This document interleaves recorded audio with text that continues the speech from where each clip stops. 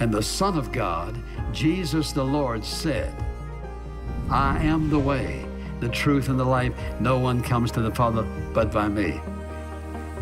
Therefore, go into all the world, teaching and preaching the gospel to every single person at the remotest parts of the earth.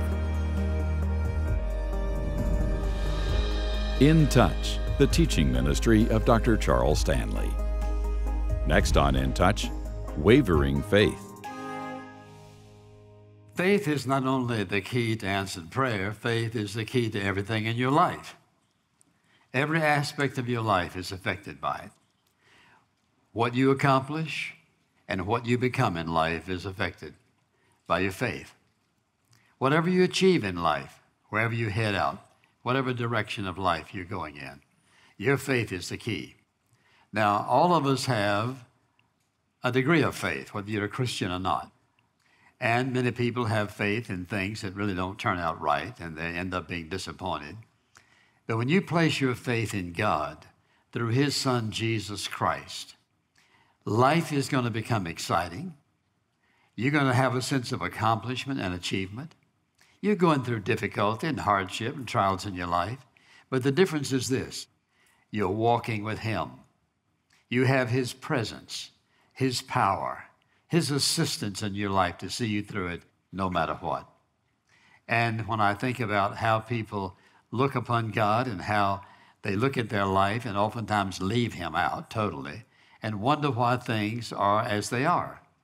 Well, what is faith in the first place? Faith is simply the confident conviction that you and I have that God is who He says He is and He'll do what He promised to do. That's what, that's what our faith as a Christian is all about. We had this basic conviction that He is who He says He is, and He will keep His every single promise. And as a believer, it won't take you long to figure that out. Likewise, we don't have to worry and fret about things. The scriptures, in fact, Jesus in the Sermon on the Mount said, Don't be anxious about all these things. But He brought us to trust. And Paul says also in Philippians, that, that the peace of God garrisons us about, protects us when we walk and live by faith and trust Him. You're either going to walk with anxiety and frustration and worry, or you're going to walk in faith. You can't have them both. Oil and water don't mix, faith and unbelief do not mix. So, how is it that you and I develop faith? And how does that faith grow? Well, I want to talk about this whole issue of wavering faith. That is, I mean by that, Yes, he will. No, he won't. I think so. I'm not sure. And so there are lots of people who just waver in their faith all throughout their Christian life and wonder why God doesn't do more in their life. And you may be one of those persons. Well, the, in this particular message, I want to show you how to deal with that so that you can grow in your faith.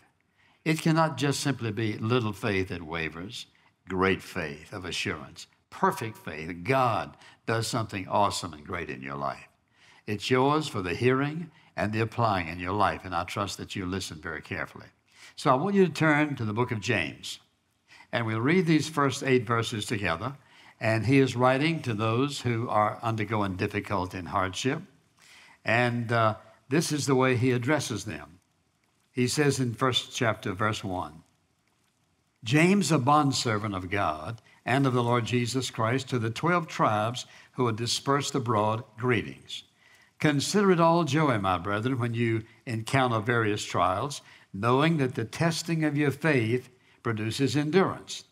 And let endurance have its perfect result, so that you may be perfect and complete, lacking in nothing. That is, that you're growing and maturing in your Christian life. But if any of you lacks wisdom, let him ask of God who gives to all generously and without reproach, and it will be given to him. And what he's simply saying is, if you're going through difficulty at this point, ask God to give you the wisdom to know how to face it and to walk through it. And then he says, but he must ask in faith without any doubting, any wavering. For one who doubts is like the surf of the sea, driven and tossed by the wind. For that man or woman ought not to expect that he will receive anything from the Lord, being a double minded man or person, unstable in all their ways. That's a pretty strong statement. He says, if you're unstable, that is, if you're just weaving back and forth about whether God will or whether He won't, He'll keep His word, maybe, maybe He won't, then you're unstable. If you're unstable in your faith, which is the foundation of how you live, you're going to be unstable in other things. And one of the primary reasons that many Christians do not live a godly life, do not live a life that is rewarding and a life that is, has, uh, is permeated by peace and joy and happiness and contentment, even in difficulty and trial, is because their faith is not steady. It's not strong. It's not firm. It's not mature. They're still in the baby stage of wavering faith, thinking, well, maybe he will, maybe he won't. So I want us to address this whole issue because it is a major issue in everybody's life. And when you think about it, what he says in this passage, he says, if a person's faith is continually wavering, now watch this, that doesn't mean that it never wavers. All of us have come to circumstances and situations in our life where maybe we've never been confronted with that particular issue before. Or it may be that we're facing something we don't know exactly how to deal with it. And so we waver in our faith for different reasons. And what I want to do is I want to talk about what some of those reasons are. We listen, we waver when trusting God is in conflict with human reasoning.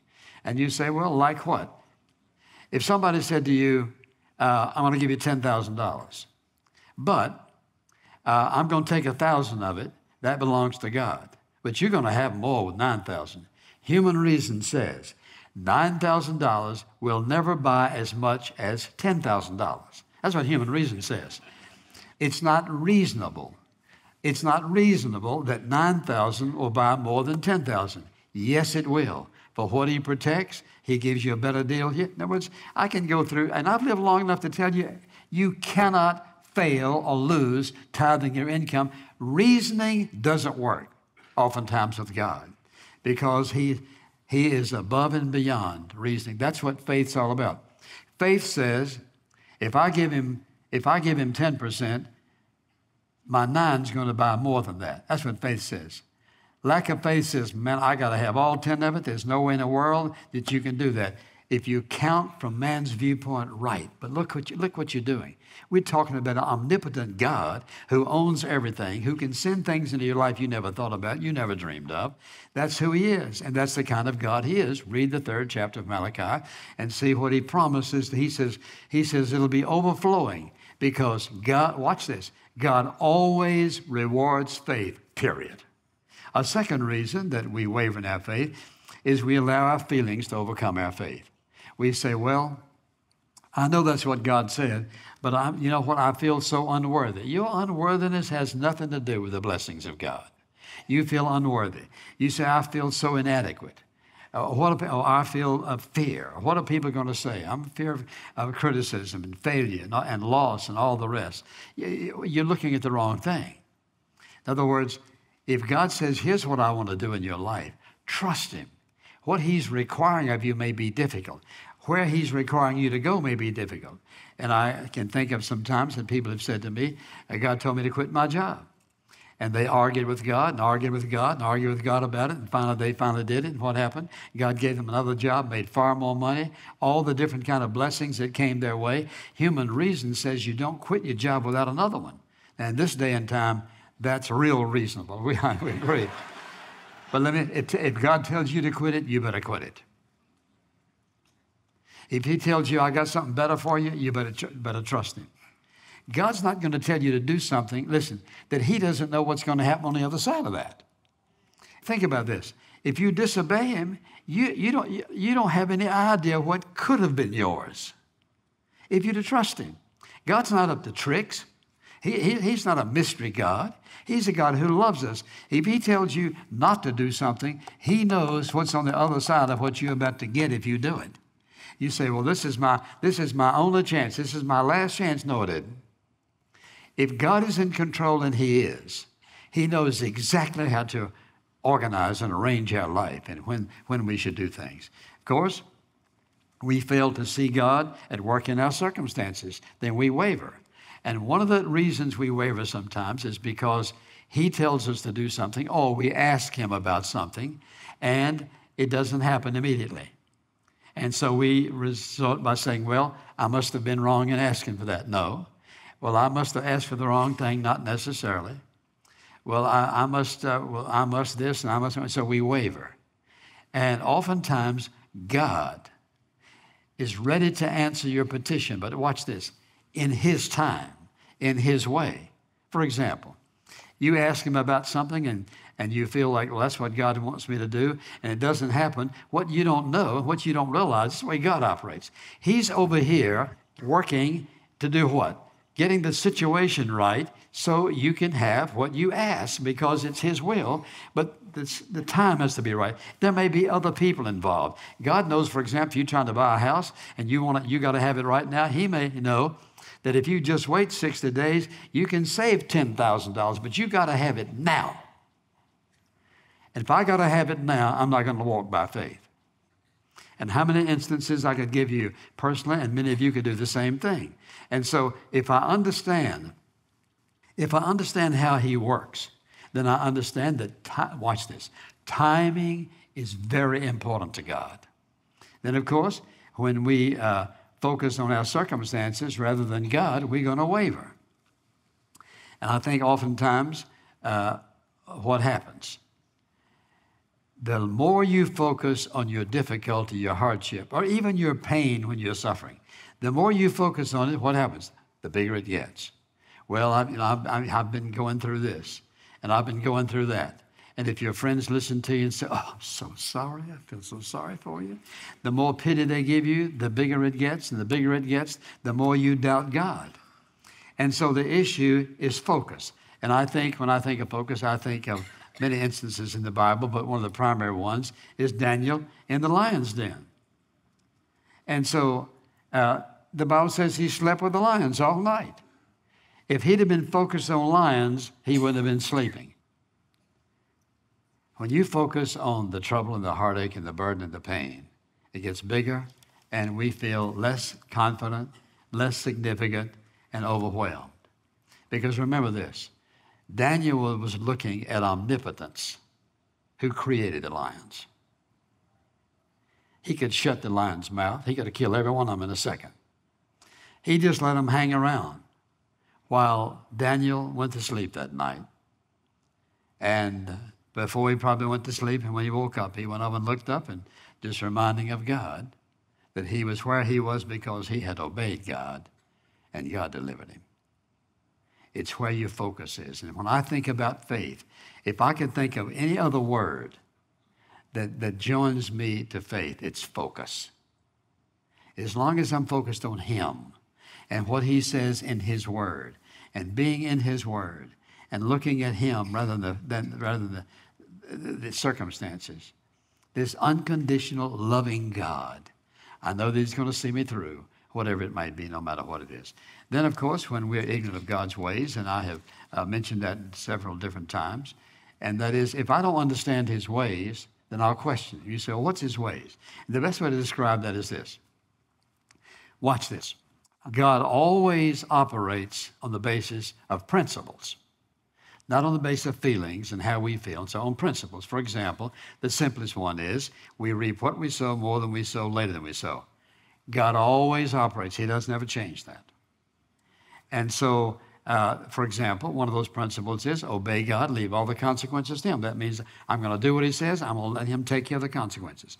God always acts. For example, He says one of those principles is that God acts in behalf of those who wait for Him. And so, if I'm going to act on the basis of principle, then I know I'm going to be heading in the right direction doing the right thing because God operates on principles. And that's the reason you and I can learn how to relate to Him because if I don't understand His ways, then I'm going to say, God, what are you up to? Well, He's just up to doing and being who He says He is. And so you could come up with most any problem, and I believe, give me a little time, and I could come up with a principle to say, if you'll obey this principle, watch what happens. Because God wants us to obey Him. And listen, Leave the consequences to Him. Let me ask you a question Is there any consequence of your obedience God can't handle? Right? None. He can handle every one of them.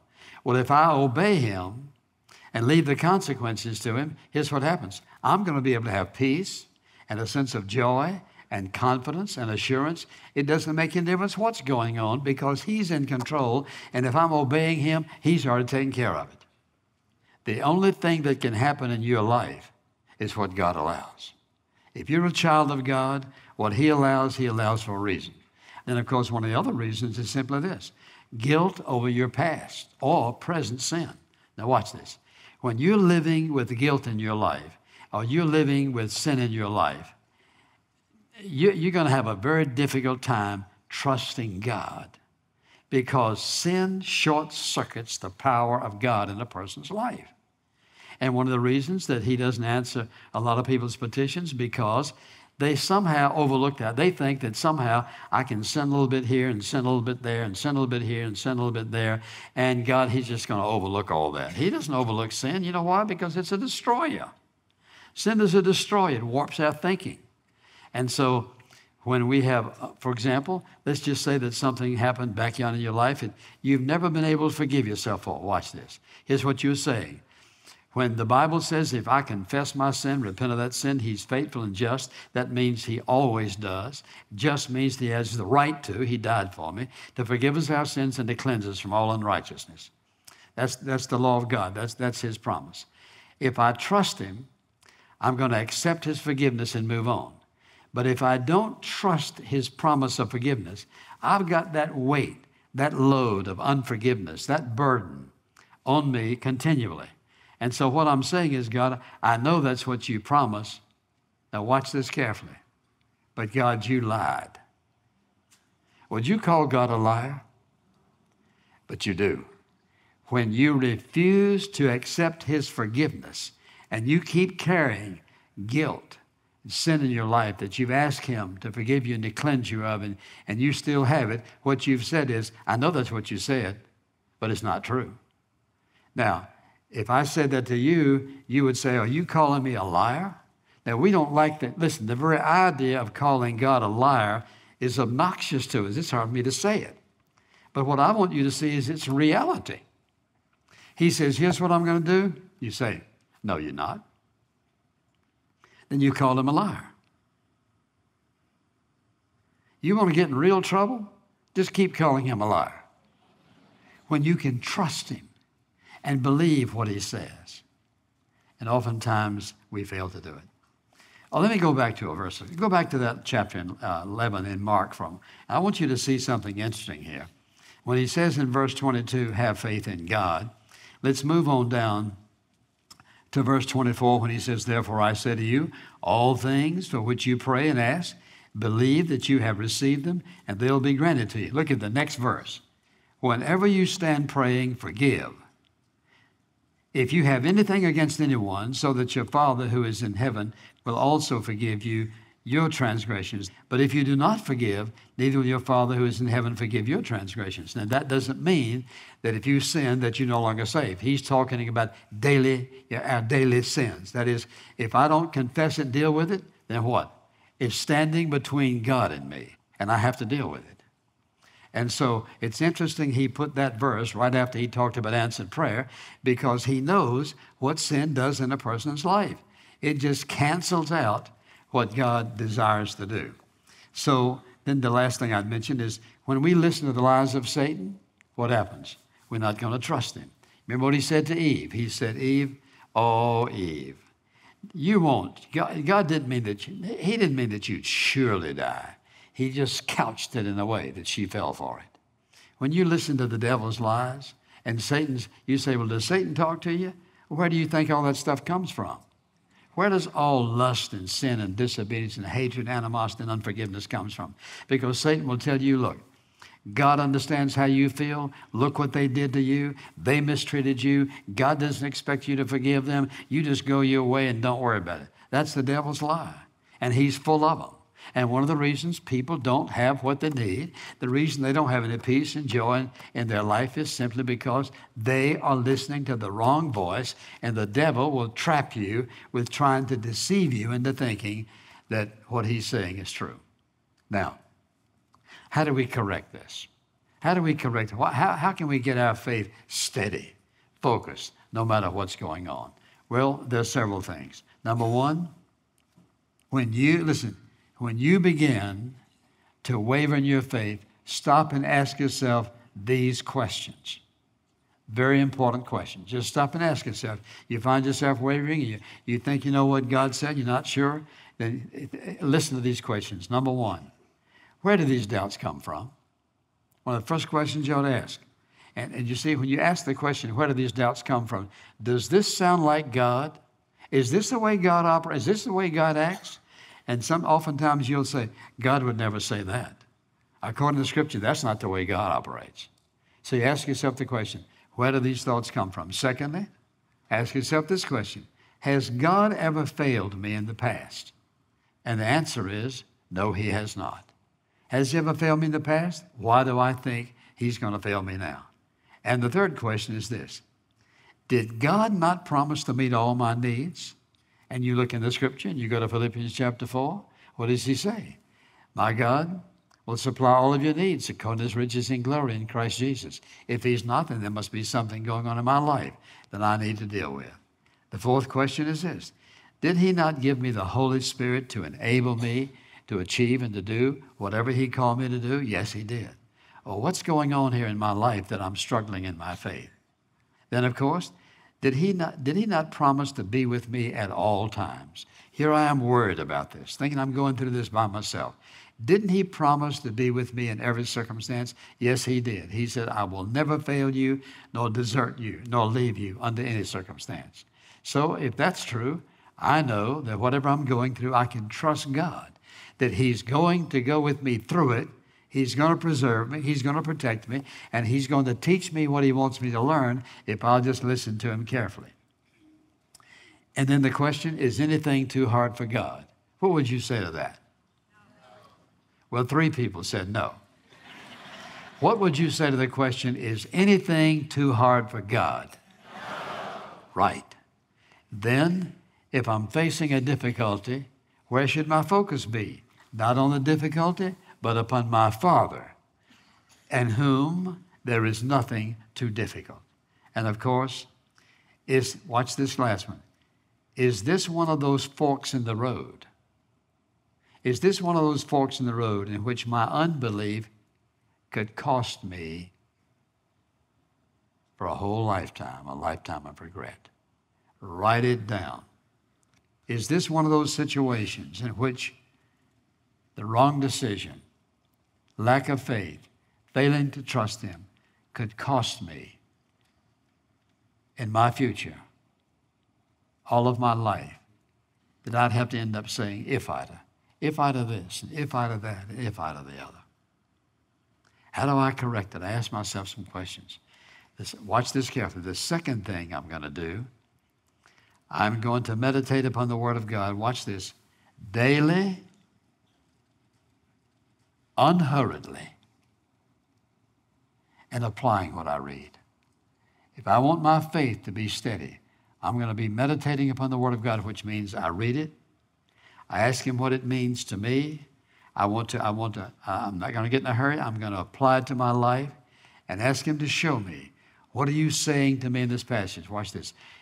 God speaks in different ways, but one of the most accurate, primary way God speaks to us is through his word.